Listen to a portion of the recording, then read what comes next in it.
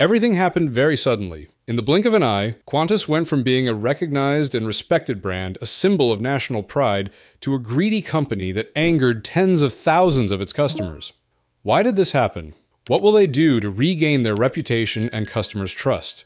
Let's find out the answers in today's episode. Qantas has stirred controversy and angered thousands of customers by canceling flights without offering refunds. Now, in the eyes of the Australian public, the airline is seen as nothing more than a greedy landlord looking to exploit ordinary citizens. How did this happen? Wasn't Qantas always regarded as a reputable airline? If you don't believe it, let's take a look back at a bit of the airline's history to understand why it was once considered one of the most trusted airlines and why it holds such significant meaning for the people. Qantas, short for Queensland and Northern Territory Aerial Services, is an airline with a long history. Established in November 19, 22 by two World War I veterans Paul McGinness and Hudson Fysh. The airline began operations with mail services and regular passenger flights, quickly becoming a popular means of transportation in Australia. In 1935, Qantas conducted its first international flight to Singapore using a Havan DH 86 aircraft. By 1938, it launched services to the United Kingdom. Although World War II posed challenges for the aviation industry, this airline continued to operate both domestic and international flights. After the war, Qantas became a government owned corporation in 1947, allowing for upgrades to its aging fleet and the introduction of new Lockheed aircraft. The airline became the first outside the United States to operate the Boeing 707 in 1959 and the Boeing 747 in 1971, significantly expanding its domestic and international operations. This also led to the acquisition of several new Lockheed aircraft, such as Constellations, Convair 240, and eventually Super Constellations, enabling commercial flights to the United States for the first time. In 1995, Qantas was privatized, and in 1998 it became one of the founding members of the Oneworld Alliance. Another important milestone was the launch of its frequent flyer program in 1987, which now has 16.4 million members, representing about 60% of the Australian population. However, they have faced significant criticism in recent times. During the COVID 19 pandemic, the airline was accused of failing to refund customers and canceling thousands of flights without timely notification. On August 20, 22, the Australian Competition and Consumer Commission filed a lawsuit against Qantas for advertising tickets for flights that had been cancelled. They were fined 120 million AUD, but only a small portion of that amount was returned to affected customers.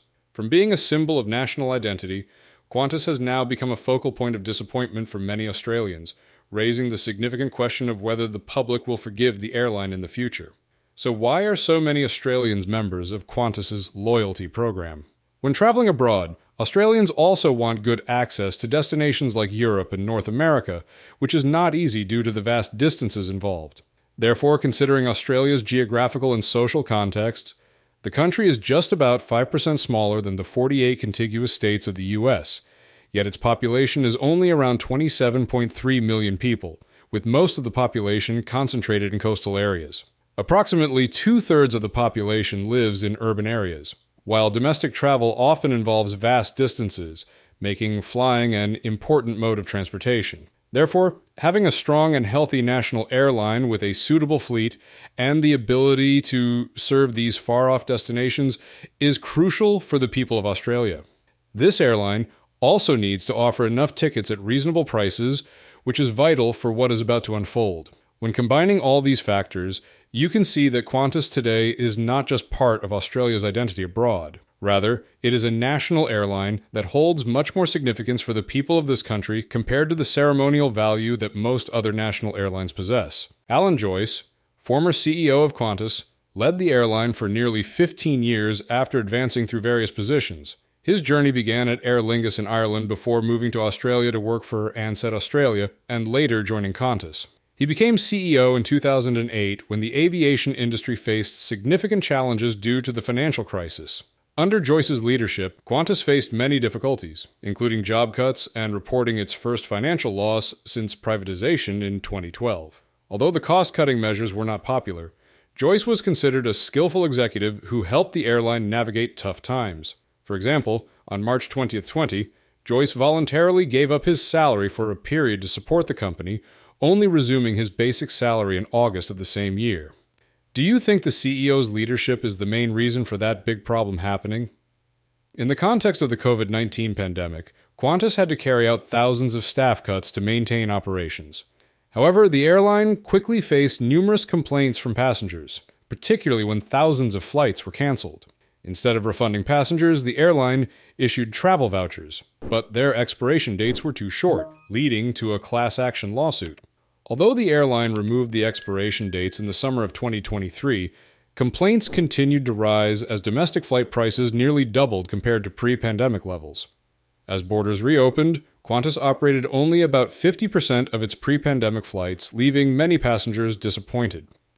Qatar Airways CEO Akbar Al Baker criticized the airline, while Qatar proposed increasing its flights to Australia. But this was rejected by the government, indicating clear protectionism in the favor. Additionally, in 2020, they laid off 1,700 baggage handlers and then outsourced these positions to weaken union power. The court ruled that the airline had illegally dismissed these employees. All of this occurred as Qantas reported a record profit of 2.47 billion AUD in 2023, further intensifying criticism. The airline received approximately 2.7 billion AUD in government support during the pandemic yet it stated there were no plans to repay the amount. On August 29, 2023, Qantas was sued by the Australian Competition and Consumer Commission, ACC short, for selling tickets to thousands of cancelled flights. The airline continued to advertise tickets for at least 8,000 flights for weeks without timely informing passengers. This means that people were paying for flights they would not be able to take. As pressure mounted, CEO Alan Joyce decided to step down earlier than planned. Shortly after his departure, people began to question whether Alan Joyce should receive his retirement payout after everything that had happened, including the bonuses. Ultimately, he received 9.26 million AUD, more than half less than the initially expected 21 million AUD. Vanessa Hudson, the chief um, financial officer, was appointed as the new CEO and apologized for the company's mistakes. Initially, the ACC said it would seek a record fine of 250 million AUD for selling tickets to cancelled flights, which would be double the largest fine ever issued to a company in Australia. However, Qantas and the ACC eventually reached an out of court settlement. Under the agreement, the airline had to pay 120 million, about 79 million for this incident. Of that amount, 100 million AUD was a fine, and only 20 million went to the affected customers, all 86,000 of them meaning each received an average of 232 AUD, or about 56 AUD per person.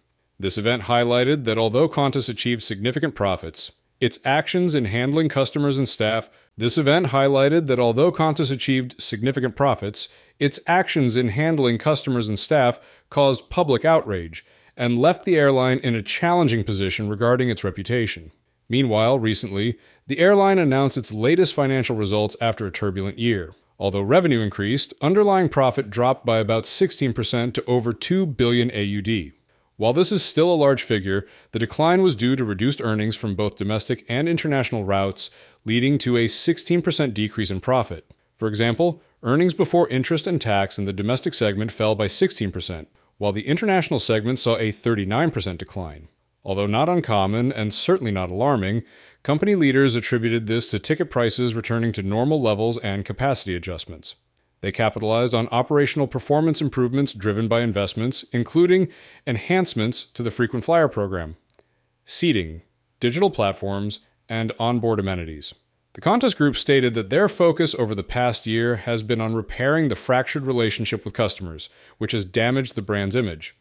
As a result, the general sentiment is that Qantas at this point is willing to accept a reduction in profits to make long term investments to ensure that they can regain their position as a national airline that people are proud to speak of. Qantas currently controls over 60% of all domestic flights in Australia. Alongside other issues, frequent last minute flight cancellations and the airline's favored position have caused a shortage of available slots at major airports. This shortage may have contributed to the, was, was to the financial struggles of smaller carriers and startups across the country. Qantas's slogan is the spirit of Australia, but to many Australians, the airline has transformed from a source of national pride into a disappointment in a relatively short period.